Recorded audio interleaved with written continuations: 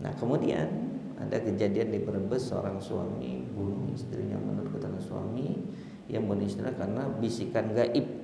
Bagaimana menurut Ustaz tentang bisikan gaib semacam itu? Apakah benar ada? Ada seorang suami melakukan hal-hal maksiat siapa saja sebenarnya ini atau seorang pasangan sampai-sampai dia bisa membunuh atau melakukan hal-hal yang memang asusila yang tidak tidak baik disebabkan oleh apa? Disebabkan oleh ada bisikan dan setan. Bapak Ibu sekalian hati-hati di dalam menjadi kehidupan kita seperti ini. Kita ini kadang itu seperti itu dipenuhi dengan pra, perasaan. Kan gitu.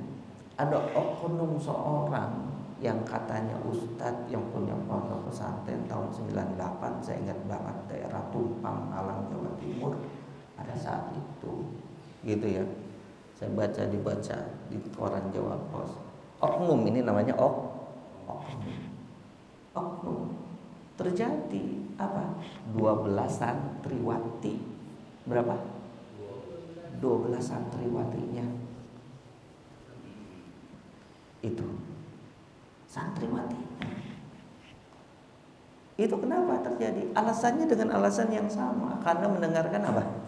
Mendapatkan bisik yang disangkanya merupakan apa? Ilham. Ya, wangsit apa pangsit? Gitu. Oleh karena itu apa pun yang kita alami apa itu bisikan atau atau mimpi atau saran pun secara tauhid dari orang lain sandarkan lagi farduhu ilallahi wa rasulih balikin lagi kepada Allah dan Rasulnya dan minta. Kalau kita nggak paham tentang apa yang disampaikan di dalam Al-Quran dan hadis dan ijma ulama minta penjelasan kepada ahlinya. Ahla dzikri in kuntum la makanya kok apa maaf, maaf, maaf. makanya Allah Allah memerintahkan kepada kita fasalu ahla dikri maka bertanyalah kalian kepada ahli dikir. Bukan fasalu ahlal ilmi. Allah tidak memerintahkan kita untuk bertanya kepada ahli ilmu. Tetapi Allah memerintahkan kita kalau ada apa-apa ente fasalu ahla dikri tanya kepada ahli zikir karena ahli zikir yang hakikatnya yang sejati adalah sekaligus ahli ilmu. Tetapi ahli ilmu belum tentu ahli zikir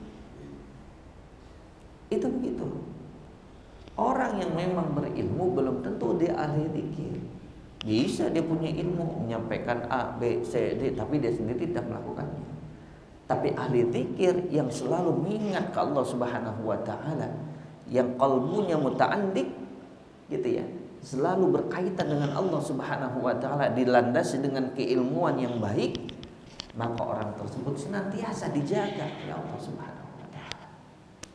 Orang-orang yang ahli ilmu tapi bukan ahli zikir. Ada orang yang katakan ahli zikir tapi dia bukan ahli ilmu, senangnya ritual aja. Dikiran aja tapi tidak diisi dengan keilmuan. Ini pun memang rentan sekali dimasuki bisikan-bisikan iblis dan setan. Hati-hati. Hati-hati. Makanya oleh karenanya ada apa-apa kita tanya deh. Oleh karenanya ibadah itu harus dilandasi dengan il ilmu. Kalau ibadah tidak dilandasi dengan ilmu maka rentan sekali dimasuki was-was bisikan saya yang seakan-akan itu ritual ibadah seakan-akan itu hal yang memang sangat suci tetapi ternyata sebaliknya merupakan maksiat kepada Allah Subhanahu. Hati-hati. Hati-hati Bapak Ibu sekalian ya. Oleh karena itu kita berilmu. Tanya kepada ahli